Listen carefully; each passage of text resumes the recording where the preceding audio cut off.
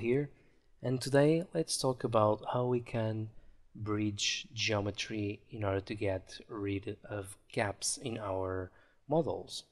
The tool that we are going to use to do this will be the bridge tool.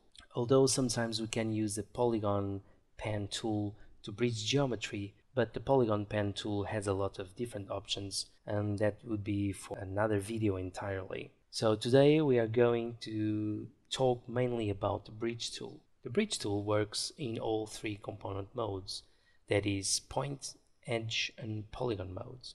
On this first example here we've got eight points that were left behind by deleting the six polygon faces from a cube.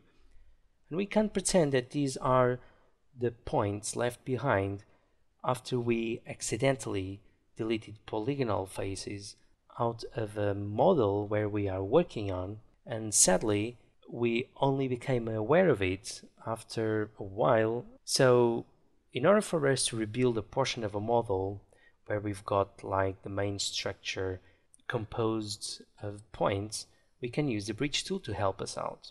So let's activate the bridge tool by hitting B on our keyboard. And as you can see by making the by putting the cursor closer to the point it gets highlighted. And we can click and drag to the next one. We could use this direction or this direction in this case. And let's do the same thing on the other two. And as you can see we created a new face like that. So this tool works like it this white line it's like we are making a virtual edge in order to connect this edge to the next one and to the next one and this way we can rebuild polygonal faces. So let's do the next step.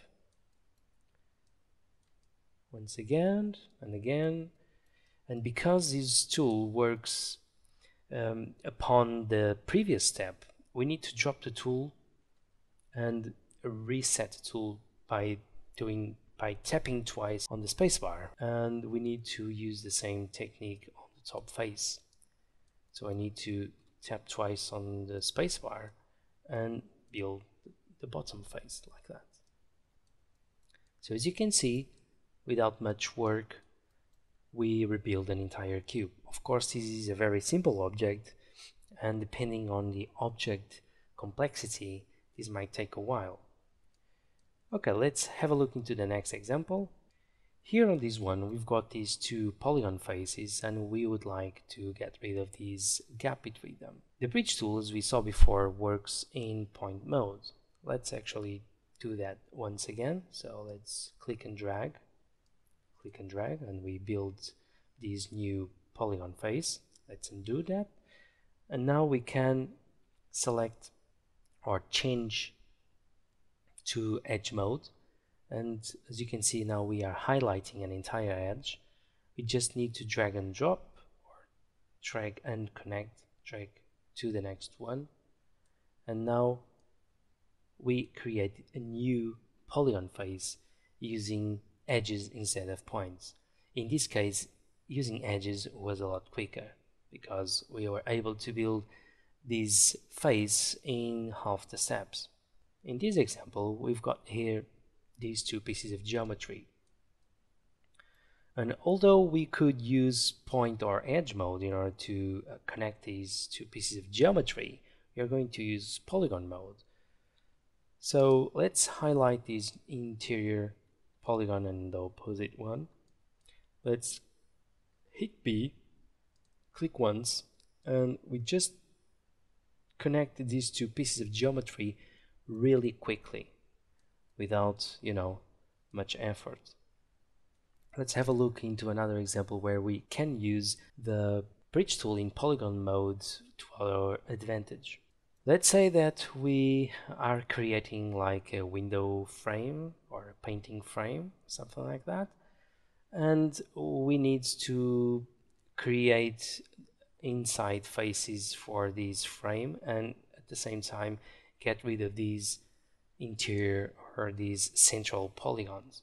So let's select both these polygons, click B, click once, and in one step we got rid of these two polygons and created the interior faces.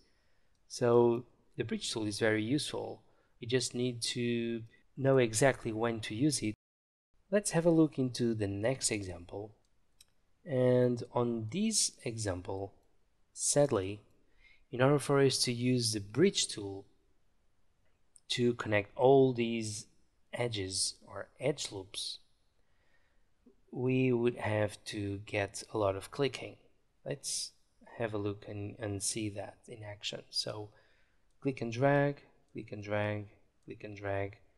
This is not the way to go because we need to do a lot of clicking and dragging and this is a, a very simple piece of geometry.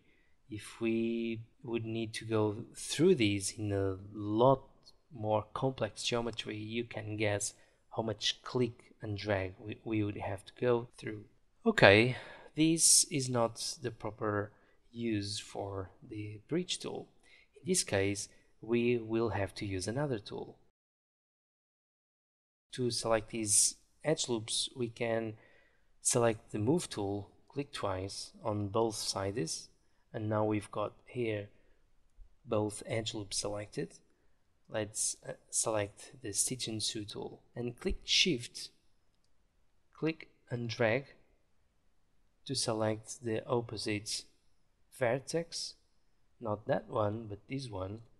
And using this tool we are able to bridge edge loops let's select all these polygons delete them and let's see the tool in action once again. So let's go to to edge mode. Select both edge loops. Stitch and sew, click shift, click and drag, and now we are able to bridge edge loops like that. Sadly, this option is not available on the bridge tool itself. Okay guys, this is it for bridging geometry. I hope that these tips will help you on your projects. And if you want to show your appreciation, please subscribe to the channel and drop me a like below. And I'll see you on the next one. Bye!